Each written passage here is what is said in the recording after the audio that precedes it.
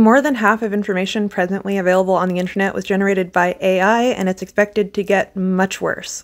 We are entering a new dark age, and there's more reasons than one behind it. We'll talk about it.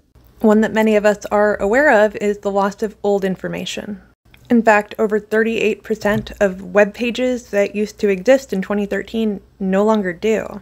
Much of the Internet archive that had existed in the form of literature and social media is now no longer being maintained because of cost. We see that with the loss of Cartoon Network's website. MySpace lost 12 years of information from their website, and that includes memorial pages. But it's a lot more insidious than that.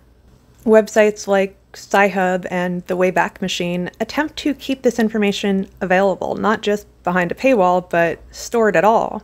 And the true owners of that information have filed lawsuits.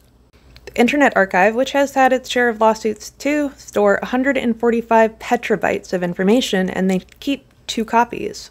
This loss is one of the reasons that CDs are making a comeback, because you can't guarantee that film, literature, and art will continue to be available to you.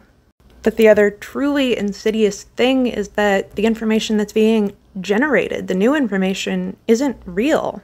In only a couple of years of AI being widely available, we've seen around 6% of news articles being written by AI, but it's far worse than that. 57% of all the text you see online has been funneled through AI. Some projections have said by next year, 90% of the text you see online will be generated. Welcome to the Dark Ages. AI is ruining the internet for everyone.